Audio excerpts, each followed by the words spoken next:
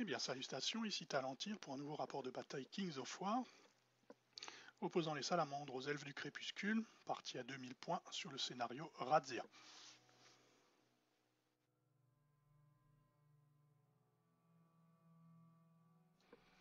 on commence par la liste de l'ami Hervé qui nous joue des salamandres. Euh, liste remaniée par rapport à la fois précédente. Euh, un capitaine sur rhinosaure, un seigneur des clans avec effigie de feu à pied, et un prêtre mage en soutien avec boule de feu, mélopée et soin, histoire de pouvoir parer à toute éventualité. Niveau troupe, euh, bah, il a une horde de guerriers salamandres, un régiment d'anciens avec effigie de feu à chaque fois, un régiment de lanciers Kaizenor, une horde de tyrans, une horde d'ailes ardentes qui servira donc de, volant euh, de harcèlement, ainsi qu'une troupe de chasseurs Gekota, un égorgeur Gekota et deux Komodos qui représenteront la dimension tir un peu de la liste.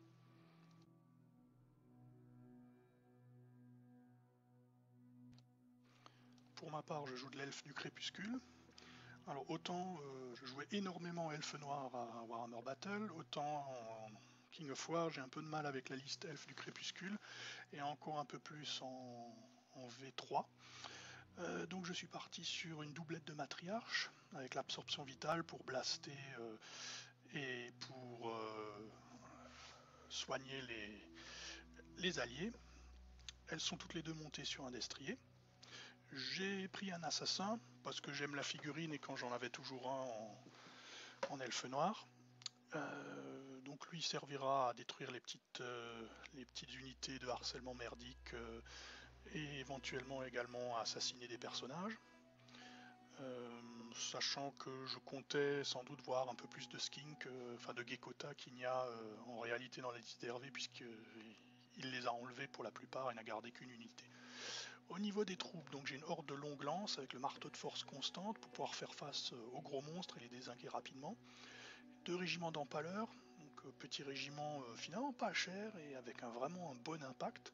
Je leur ai payé des cristal hurleurs et l'un d'entre eux reçoit également le nectar de soin, histoire qu'ils puissent un peu se, régénérer avant d'enchaîner un second combat. Un régiment de bouchers, parce qu'il me restait des points, et que l'unité est plutôt pas mal.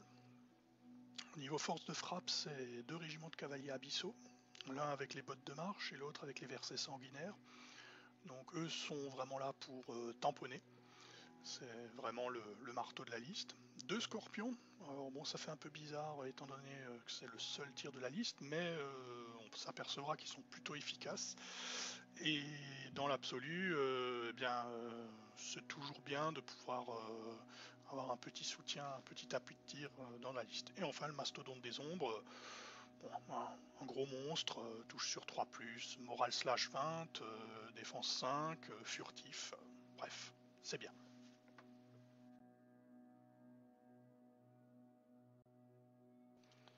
Voilà le déploiement. Alors, euh, on a tiré le scénario Razia, donc le scénario avec 5 euh, pions butins qui sont euh, sur une ligne au centre de la table. on en a désigné chacun un pour valoir 2 points. Hervé a désigné celui qui est dans le bosquet du centre pour valoir 2 points, tandis que moi je prenais celui qui était complètement à gauche. Euh, résultat, ben, Hervé a déployé euh, plutôt sur sa droite, avec euh, quasiment rien à gauche, sauf un petit régiment de Gekota. quant à moi, je faisais l'inverse, puisque je mettais beaucoup plus de troupes pour récupérer le pion butin qui vaut 2, qui se trouve j'avais placé tout à ma droite. par contre, je me déploie sur une ligne un peu plus large, histoire d'avoir un contrôle de la carte un peu plus grand. Euh, le risque évidemment c'est de se faire, euh, on va dire, euh, déborder, mais bon c'est un risque à prendre et puis en elfe on va assez vite. Donc du coup j'ai pas négligé non plus le, pion butin à deux points qui se trouve dans le bosquet.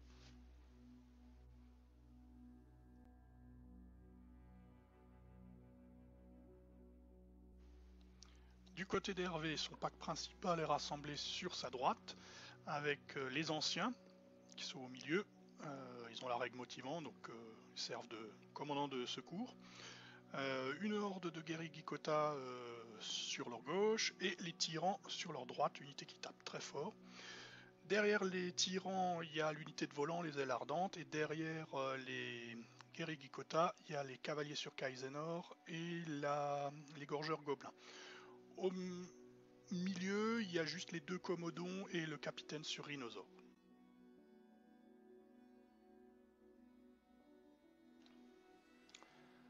En face, euh, sur ma gauche, ben, je ne peux aligner que des effectifs un peu réduits puisque j'essaye de, m'étaler sur toute la table.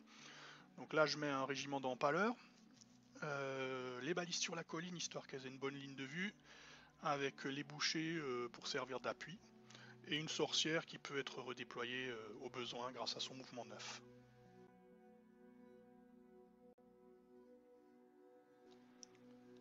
Sur mon centre, j'ai un premier pack de cavaliers abyssaux, des empaleurs et la horde de lanciers.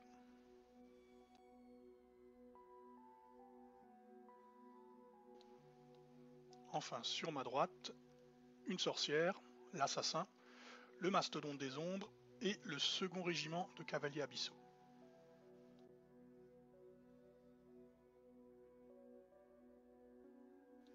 Je gagne le premier tour et j'en profite pour faire avancer tout le monde à fond à droite, histoire de récupérer un maximum de butin. Donc je prends le butin 2 avec le mastodonte et l'autre à côté avec les lanciers. Mon assassin a fait une avant-garde à fond également euh, au début de la bataille, c'était un risque à prendre, j'avais une chance sur deux d'avoir le premier tour. Euh, et euh, ben, je fais une charge contre les Gekota qui, étaient droit devant dans la forêt et je l'ai détruit euh, avec 4 blessures, euh, donc euh, du coup ça me débarrasse de toute unité ennemie dans ce coin où il n'y avait de toute façon pas grand chose, donc je peux faire ce que je veux de ce côté.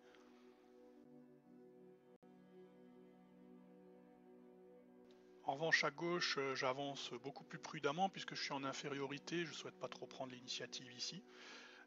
Par contre mes balistes font un tir sur l'un des deux commodons qui sont droit devant elle et j'ai du bol puisque j'obtiens une quadruple touche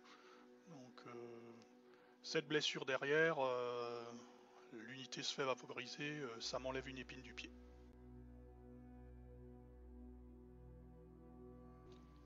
C'est au tour d'Hervé qui avance doucement, il ne veut pas lui laisser la possibilité de le charger. Il fait progresser ses anciens et ses tyrans euh, sur ma gauche et il fait foncer ses ailes ardentes droit devant histoire de sortir de l'angle de vue de mes empaleurs.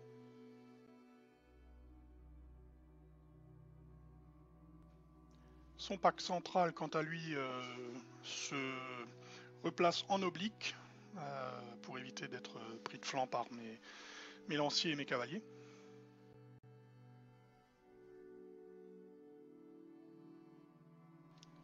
Son commodon restant tire sur mes lanciers, leur met 3 euh, points de vie, tandis que son égorgeur Gikota tire des traits de baliste sur le mastodonte des ombres, euh, mais ne lui inflige que euh, deux points de vie, me semble.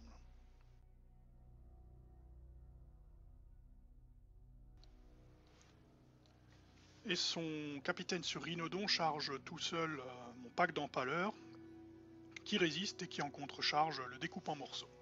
Du coup, mon, bloc peut continuer son avance, puisque les lanciers vont pouvoir s'approcher entre la forêt et la tour. Mon assassin, quant à lui, euh, tirera quelques shurikens sur le, sur le Commodon.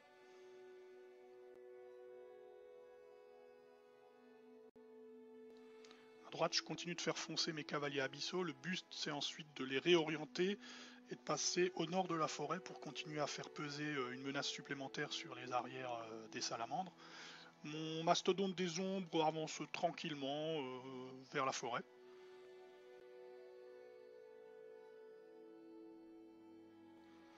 Là, je fais une, euh, boulette puisque j'avance mon pack de cavaliers abyssaux pour récupérer le, coffre et euh, je pensais être hors de portée, j'aurais dû vérifier. Euh, je ne le suis pas, du coup les lanciers Kaizenor me tombent dessus et Hervé fait un jet formidable pour les dégâts puisque je crois qu'il rate à peine 3 attaques, quelque chose comme ça. Bref, mon pack se fait complètement exploser.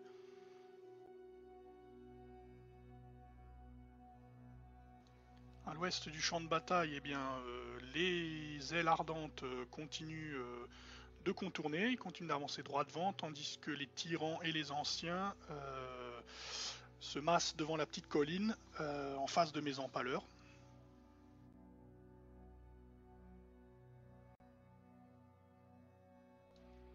là, c'est au tour d'Hervé de faire une petite erreur de placement, puisque ces ailes ardentes euh, sont euh, pas assez éloignées de mes empaleurs, et euh, du coup, je profite pour pouvoir les charger, ce qui me permet d'être hors de vue des tyrans, qui sont à côté, qui représentent vraiment une, grosse menace. mon pack fait 11 blessures, je suis raisonnablement confiant, et le premier doublas de la partie sort et ruine ma charge puisque euh, les ailes ardentes euh, du coup pourront tenir. Heureusement euh, il est sans gravité puisque les tyrans pourront pas me charger dans la foulée, mais ça fait, ça fait bien brère.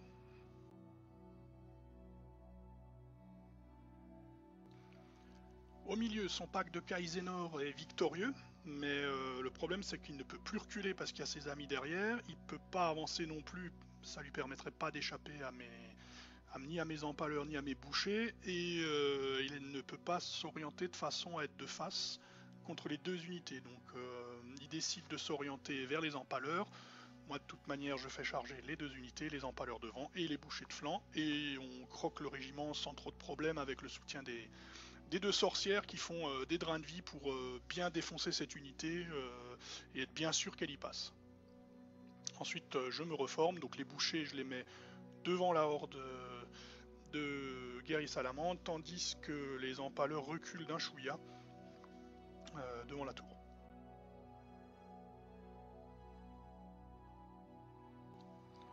Du coup, à son tour suivant, Hervé fait contrecharger ses ailes ardentes euh, sur mes empaleurs, qui encaissent quand même 6 blessures, mais qui tiennent le choc.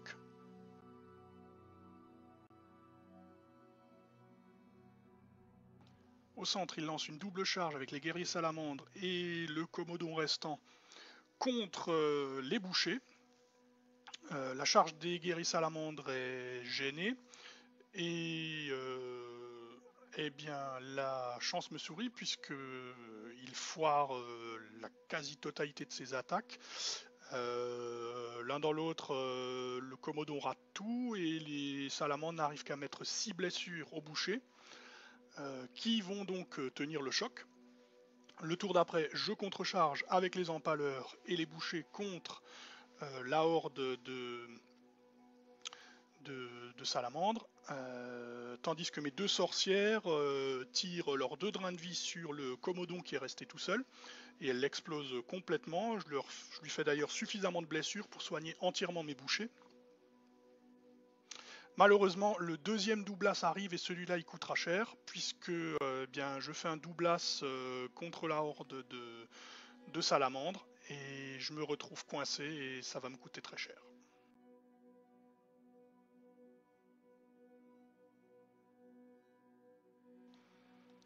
Alors mes empaleurs sont victorieux lors de la contrecharge des ailes ardentes et elles se retournent, sauf que le problème c'est qu'entre temps les tyrans ont foncé droit devant, euh, mais les anciens menacent toujours mon unité, donc euh, je suis un peu euh, dans la mouise à ce niveau-là.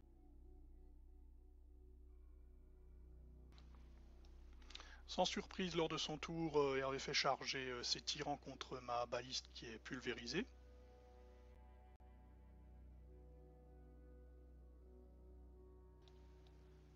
Au centre, c'est le suspense du coup, puisque comme la horde de salamandres a tenu le choc, euh, ben, elle peut contrecharger. Elle décide de contrecharger contre euh, les empaleurs. Tandis que le seigneur des clans euh, charge ma horde de lanciers avec l'aide du coup de flancs de l'égorgeur Gekota qui fait un carton. Euh, je prends 15 blessures euh, dans l'affaire euh, et par miracle, grâce à la relance du motivant, je réussis à survivre avec ma horde de lanciers. quant à mes empaleurs, ils tiennent le choc également.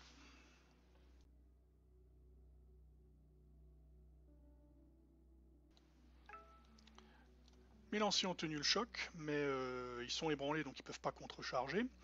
Euh, néanmoins, euh, le suspense reste ancien puisque maintenant je peux également ramener du renfort, donc je fais charger mes cavaliers abyssaux contre euh, l'égorgeur Gekota. Donc là aussi, je le prends de flanc, donc je m'attends à pouvoir le pulvériser et je réussis uniquement à l'ébranler, ce qui ne m'arrange pas du tout puisque ça bloque ma charge. Devant, je fais charger mes empaleurs et mes bouchers sur la horde de salamandres qui, cette fois-ci, finit par succomber. Je fais du coup euh, une, consolidation avec les bouchers droit devant pour récupérer le butin qui vaut 2 points. Et avec les empaleurs, je me tourne puisque les, tyrans d'Hervé, après avoir détruit ma balise, se sont réorientés euh, vers le centre de table. Et c'est là que le doublas contre la horde de salamandre va me coûter très cher.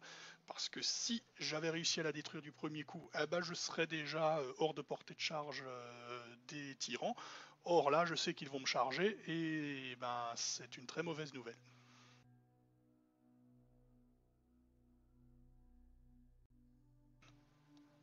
J'essaye bien d'envoyer une sorcière pour faire une absorption vitale de façon à, faire encore un test salé. Euh, les tyrans ont pris 8 euh, blessures lors des tirs de baliste. Euh, la sorcière ne fait que 2 blessures, ça fait 10. Malheureusement, je rate le test de morale, donc du coup, ben, les tyrans sont toujours dans la partie.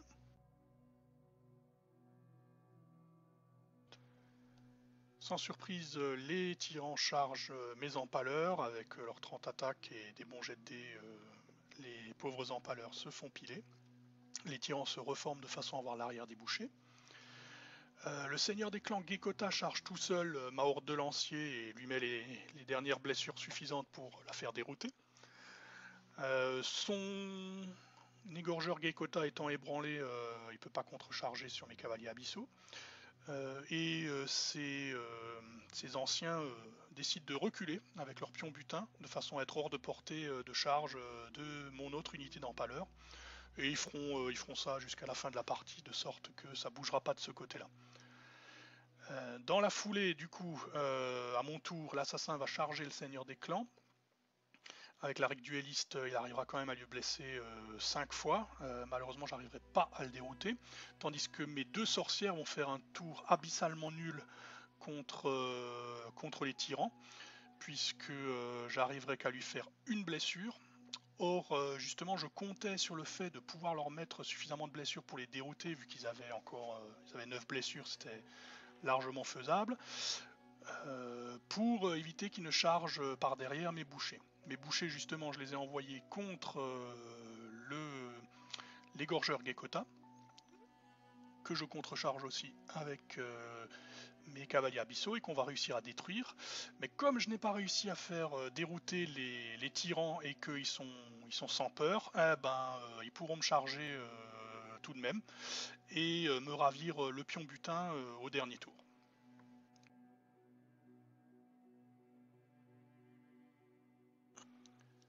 c'est le sixième tour d'Hervé. Et sans surprise, il fait charger ses tyrans contre mes bouchers. Comme il a joué en deuxième, euh, la partie s'arrête potentiellement à la fin de ce tour. C'est-à-dire que on va lancer un dé et sur un 4+, on fera un tour 7. À ce moment-là, mon espoir, c'est soit que mes bouchers tiennent, ce dont je doute étant donné euh, les 30 attaques force dévastatrice 2 qui vont se manger, soit qu'il y ait un tour supplémentaire. Euh, dans ce cas-là, je pourrais lui rouler dessus avec mes cavaliers abyssaux. Encore que, euh, vu le nombre de doublas euh, que j'ai déjà fait, je me pose des questions. Mais c'est tout de même, on va dire, probable. Donc si on fait un, inventaire des pions butins, juste derrière les, tyrans, il y a le pion butin qui a été lâché par mes lanciers lors de leur, lors de leur mort. Euh, les bouchers ont un pion butin qui vaut 2 et les anciens ont un pion butin qui vaut 1. Euh, on ne le voit pas sur la photo, mais à droite, mon mastodonte des ombres n'a pas chômé, il est allé récupérer un autre pion butin, il en a donc deux, un qui vaut 2 points et un qui vaut 1 point. Ce qui veut dire que pour l'instant, j'ai 5 points de victoire, tandis que Hervé n'en a qu'un. Donc, s'il tue mes bouchers, il peut récupérer leur pion butin, et s'il fait une consolidation en arrière, il peut récupérer celui des lanciers. Donc ça veut dire que s'il n'y a pas de tour 7, euh, Hervé peut me prendre 3 points et gagner 4 à 3. Donc ces anciens continuent à reculer par rapport à mes pères pour garder leur pion butin, tandis que son seigneur des clans, lui, va charger ma sorcière.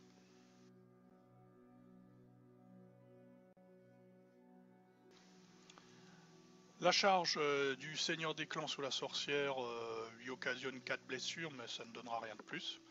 Évidemment, mes bouchers se font exploser, et les tyrans récupèrent euh, donc leur pion butin qui vaut 2 points, ainsi que, en reculant, celui qui avait été laissé par les lanciers.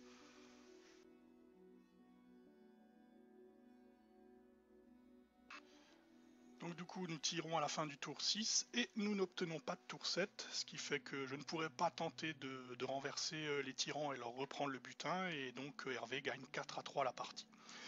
Euh, de façon générale, je trouve mon plan était plutôt bon. J'ai eu l'inspiration pendant un moment de bien contrôler le, jeu, et puis malheureusement, ben, il y, y, a eu des doublasses au mauvais moment. Et ensuite, Hervé a commencé à, bien manœuvré euh, sur, surtout sur le côté gauche et du coup je me suis retrouvé euh, en difficulté et euh, il a fait une super remontada. Donc l'un dans l'autre, eh bien je perds cette partie de pas grand chose, mais c'était au moins intéressant. C'est bien d'avoir des parties serrées comme celle-ci. Et bah, je suis plutôt content quand même du, du résultat malgré tout, puisque bon c'était une, c'était une première avec les elfes du crépuscule surtout à ce format, donc euh, j'ai réussi à faire une liste qui me convenait. Euh, bon, elle est peut-être pas super optimisée, j'en sais rien, puisque je connais pas assez cette faction, mais en tout cas, euh, oui, j'ai bien aimé la jouer et je pense que la liste d'Hervé aussi a été beaucoup plus forte que la, que la liste qu'il avait alignée la dernière fois, donc, donc ça me semble plutôt pas mal. Donc voilà, j'espère que cette partie vous aura plu. je vous dis à bientôt et d'ici là, que les dés vous sourient.